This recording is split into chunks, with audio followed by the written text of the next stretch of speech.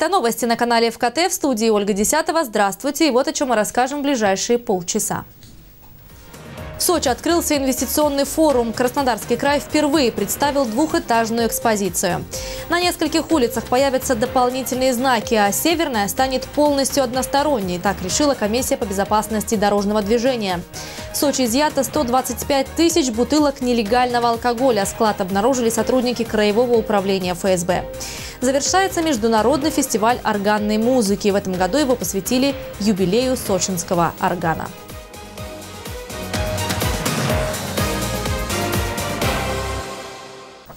В Сочи свою работу начинает Международный инвестиционный форум. У Краснодарского края снова самый большой стенд. Об этом в своем твиттере написал губернатор Вениамин Кондратьев. В экспозиции Кубани стало меньше стендов, но больше интерактива. Впервые край сделал двухэтажную экспозицию, больше двух тысяч квадратных метров. Построили все за 15 дней. Это рекорд. Основная деловая программа форума начинается завтра. Краснодарский край представит в Сочи около 400 инвестиционных предложений на сумму свыше 300 миллиардов рублей. Ну и сегодня на двухэтажной экспозиции Краснодарского края завершились последние приготовления. На форуме Краснодарский край впервые представляет мультимедийные презентации инвестиционного потенциала региона на двухэтажной площадке. Со всеми возможностями Кубани инвесторов познакомят архитектурные макеты и 3D-проекты. В целом в рамках форума край представит свыше 490 инвестиционных проектов и площадок. Из них 90 предложений в сфере АПК, 43 в промышленной и 42 в курортной отраслях, а также 32 предложения в потребительской сфере и более 20 строительных строительных инвестпроектов. На этом форуме представлены те проекты, которые отработаны тщательно с учетом земельного законодательства, с учетом э, технических условий от ресурсоснабжающих организаций. Те проекты, которые власть готова сопровождать дальше. Если брать э, из крупного, это новая точка роста для края. Э, это, наверное, все-таки концепция создания яхтенных марин, в котором две площадки находятся в городе Сочи. В Сочи для участия в инвестиционном форуме приедут делегации из 24 стран стран. Ключевой же темой 15-го международного форума «Сочи-2016» станет новое качество государственного управления, проекты для роста, проекты для жизни. Форум завершится в воскресенье. 20 миллиардов рублей компания «Еврохим» вложит в развитие заводов в Белореченском районе. Об этом главе региона Вениамину Кондратьеву рассказал генеральный директор Дмитрий Стрежнев. Компания планирует не только модернизацию предприятия «Белореченские Минудобрения», но и расширение производства. В частности, реконструкцию сернокислотного цеха, а также строительство цехов по производству комплексных водорастворимых и азотно-фосфорных удобрений.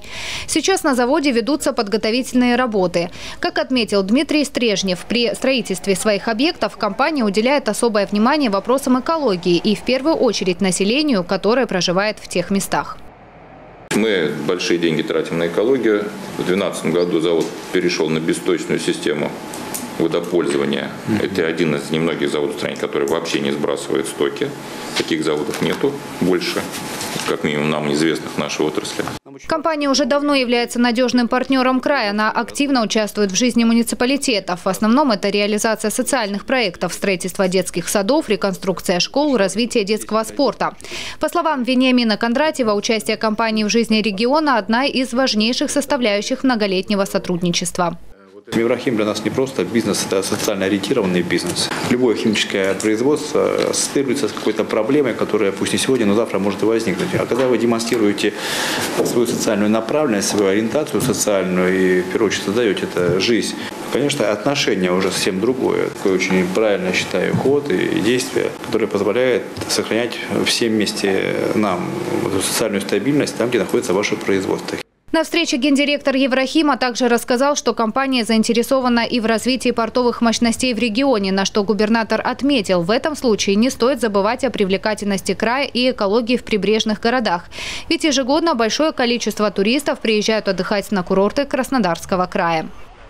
У нас курортный край, аграрный край, но не индустриальный ни в коем случае. И поэтому здесь мы сохраняем вот то, что изначально и должны сохранять. Привлекательность края, привлекательность, а небольшая одна причальная стенка. Вот здесь принципиально, по крайней мере, я считаю, что мы не можем стать одной большой причальной стенкой. Власти Кубани готовы поддержать бизнес, который инвестирует в развитие региона. Расширение завода в Белореченском районе позволит увеличить и штат сотрудников. Дополнительно появится около 100 новых рабочих мест. Татьяна Говоркова, телекомпания «ФКТ». В Сочи снова ожидаются дожди. По сообщению Краевого управления МЧС, в ночь на пятницу и днем 30 сентября возможны ливни, и также усиление ветра. К другим новостям. Как отличить подлинную банкноту от фальшивой? Сегодня этому обучали кассиров сферы торговли и общепита. Специальный семинар провел представитель Центробанка. Сочи готовится к Кубку Конфедерации, круглогодично принимает миллионы туристов и потому попал в группу риска. Чем больше город, тем легче сбывать фальшивые купюры, а их немало. В крае обнаружено полторы тысячи поддельных банкнот номиналом 5 и тысячи рублей. Их чаще всего сбывают в больших супермаркетах. Такие мероприятия мы проводили перед Олимпиадой. Оно касается обучения наших кассовых работников города Сочи тому, как определять и отличать подлинные банкноты от фальшивых. Учитывая, что город у нас курортный, приезжает много людей, соответственно, это лакомый кусок для фальшивомонетчиков и их коллег а, сплавливать 10 купюр. поэтому мы с удовольствием относимся к инициативе Центробанка проводить такие семинары. Фальшивомонетчики порой оттачивают свое мастерство настолько, что даже терминалы оплаты принимают такие банкноты. При наличии детектора подлинности выявить подделку несложно, а вот без него необходимо знать все признаки подлинности купюры. Они также указаны на сайте Центробанка России. В Сочи изъято около 60 тонн нелегального алкоголя, а склад, где злоумышленники хранили почти 130 тысяч бутылок со спиртным, был обнаружен в ходе оперативно-розыскных мероприятий сотрудниками Краевого управления ФСБ. В общей сложности правоохранители изъяли со склада около 60 тонн продукции. На этикетках бутылок были указаны торговые марки нескольких известных производителей, однако акцизные марки оказались поддельными. Это установила экспертиза. Также исследование показало, что алкоголь не соответствует требованиям ГОСТа, однако угрозы для жизни и здоровья граждан не представляет.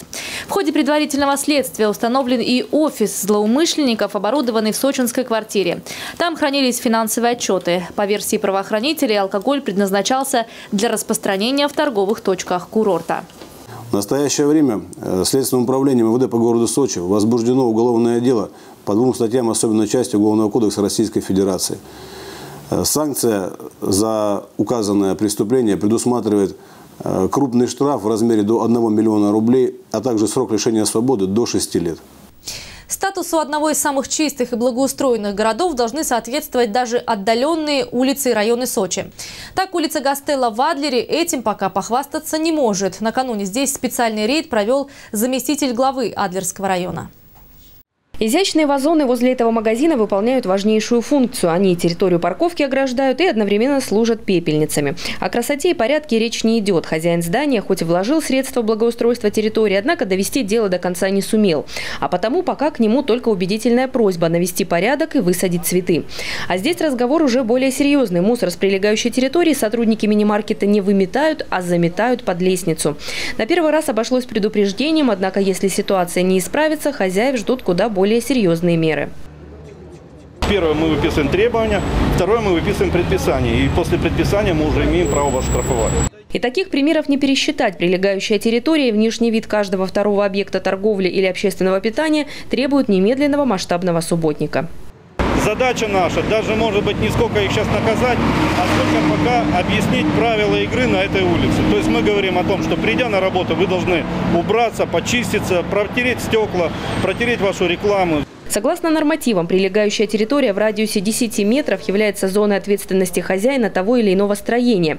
А потому, заботясь о прибыли, важно не забывать и о деловой репутации, которая зависит в том числе и от внешней привлекательности коммерческого объекта. Галина Моисеева, телекомпания ФКТ.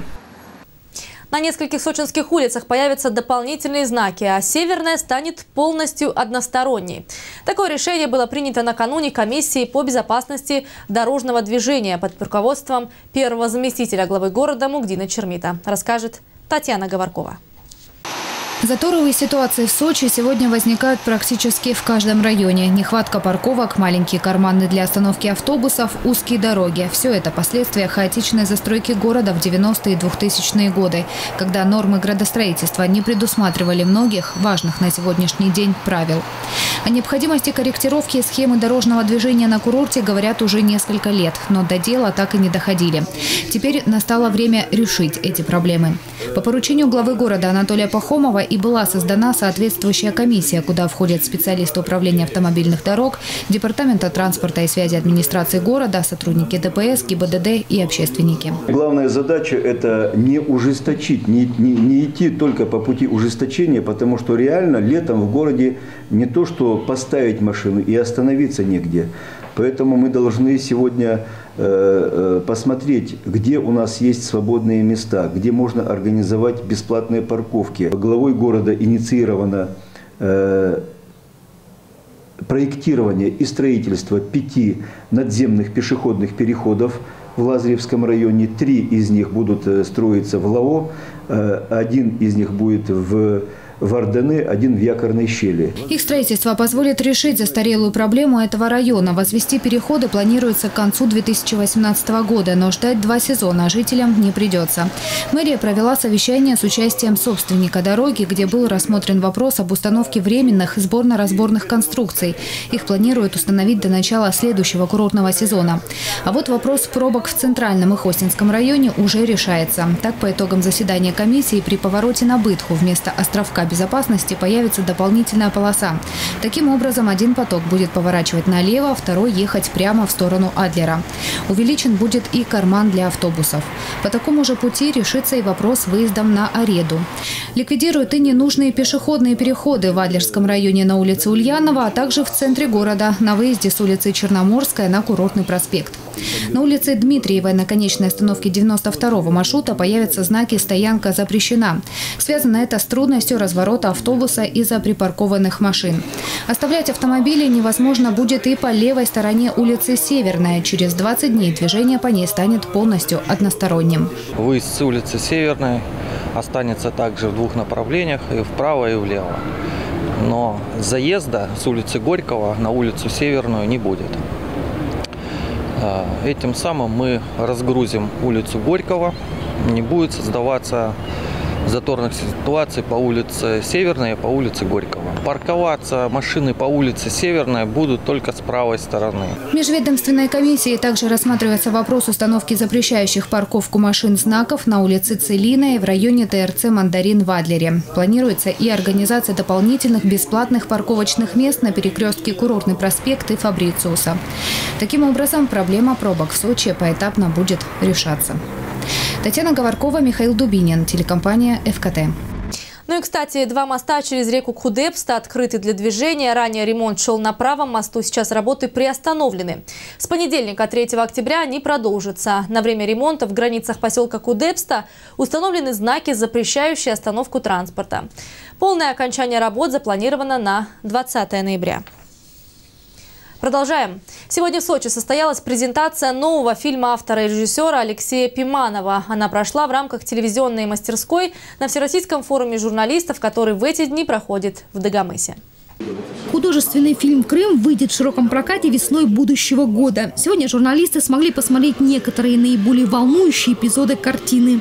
Главные герои – молодые люди, которые познакомились еще до того, как Крым вошел в состав России. И как меняются они с лета 2013 до конца февраля 2014.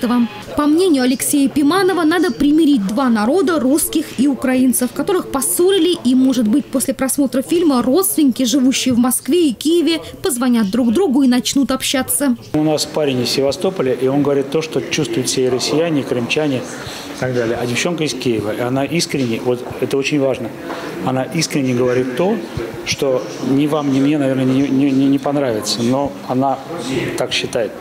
И наша была главная задача, с актрисой тоже чтобы все поняли, почему она так говорит. Поняли, что она хороший человек, но она так говорит пока. Среди журналистов развернулась широкая дискуссия. Многие участники фестиваля из Севастополя благодарили Пиманова за то, что не стала откладывать эту тему на потом. А пока есть проблемы, решать ее, пусть и посредством художественного фильма. А в это время в другой аудитории правозащитник Лидия Графова говорила с представителями СМИ о журналистской принципиальности. Ее мастер-класс так и назывался «Свобода слова и свобода слуха». В нашем обществе исчезает такое необходимое чувство, как э, сочувствие, сострадание. И э, валом валит ненависть какая-то друг к другу. Люди перестали друг друга понимать, слышать. И мне кажется, роль нашей журналистики, для того мы здесь собираемся, чтобы вспомнить о своем главном назначении. Это все-таки сеть разумная, добрая, вечная. Международное общественное движение «Форум переселенческих организаций», которое возглавляет Графова, существует уже 20 лет. Оно помогает нашим соотечественникам-переселенцам, вернувшимся на родину после распада СССР. Сейчас форум объявил в рамках второго конкурса «Большие победы маленьких людей» в номинации «Лучший материал о правах мигрантов» новый раздел с несколько вызывающим названием «В защиту понаехавших». Елена Овсецина, Николай Тихонов, телекомпания ФКТ. В Сочи отмечают 112-летие Николая Островского. В нашем городе советский писатель прожил 8 лет. Дом, в котором жил Островский и его семья, является объектом культурного наследия федерального значения. Там и в литературно-музыкальном музее проходят экскурсии и лекции для школьников. Сегодня музей посетили ученики трех сочинских школ. Сотрудниками галереи специально к 112-летию со дня рождения советского писателя была подготовлена мультимедийная презентация.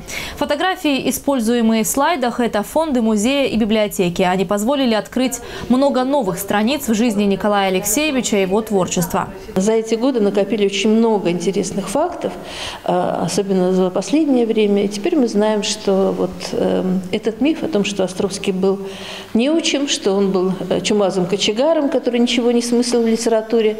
Это миф, потому что он был достаточно образован и самообразован. А, и кроме того, еще миф, что вот он, э, его пролетарское происхождение уже теперь э, поставлено под сомнение, потому что когда он родился в Вилле, его отец был не просто уважаемым человеком и принадлежал, ну, к элите, что ли, вот этого небольшого села, он, кроме того, в их доме была прислуга, что он не очень соответствует соответствует, соотносится с его пролетарским происхождением. Большой интерес посетителей к уникальному памятнику культуры, сохранившемуся до наших времен в первоначальном виде. В этом доме в 1936 году советский писатель жил и продолжал работать над романом «Рожденные бури», несмотря на то, что он уже был прикован к постели неизлечимой болезнью. Дом Николая Островского, пожалуй, единственный музей в стране, где абсолютно все вещи, мебель и предметы в кабинете писателя, который также был приемной и концертным залом, подлинные. Из этого дома Островский уехал в октябре 1936 года в Москву, где и скончался спустя два месяца. Посетить музей можно ежедневно, кроме среды, с 10 до 18 часов. В Сочи завершается международный фестиваль органной и камерной музыки. В его рамках уже прошло пять концертов с участием органистов из Краснодара, Луганска, Челябинска, а также Польши и Абхазии. Завершающий аккорд праздника органной музыки прозвучит в эту пятницу. Какую программу организаторы подготовили для финального концерта и почему фестиваль в этом году перенесли с июля на сентябрь, узнаем из нашего следующего сюжета. Сегодня в зале органной камерной музыки идут репетиции. Артисты готовятся к финальному концерту Международного фестиваля органной музыки.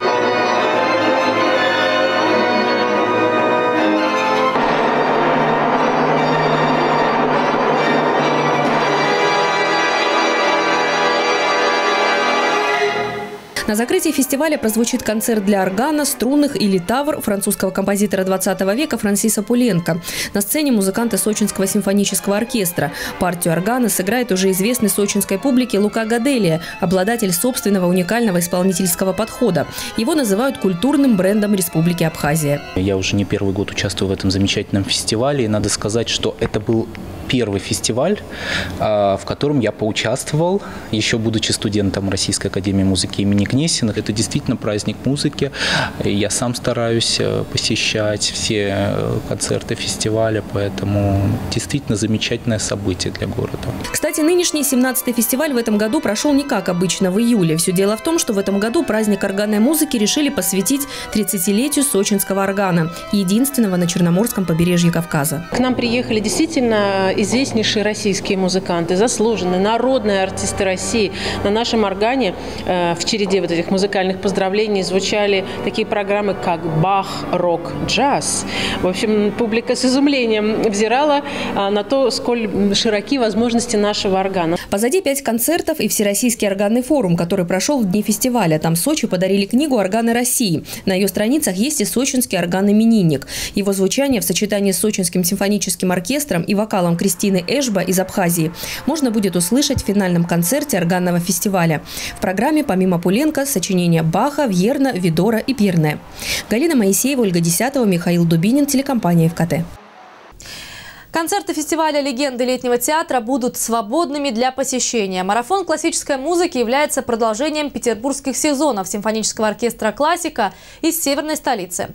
Он будет идти с 1 по 6 октября в летнем театре в парке имени Фрунзе. Всего в рамках фестиваля пройдет 6 концертов, начало каждого в 19.30, вход свободный.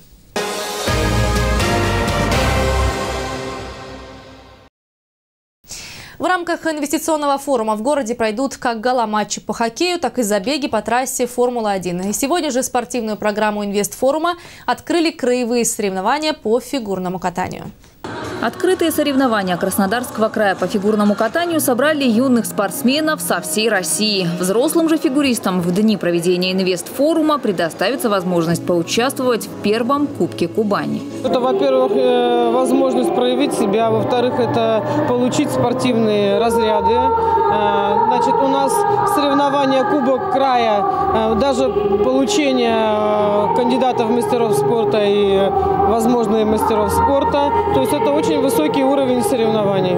Мы традиционно проводим 6 открытых первенств края. Хотим, чтобы как можно больше соревнований проводилось в Сочи, так как остались очень хорошие базы, как Олимпийское наследие.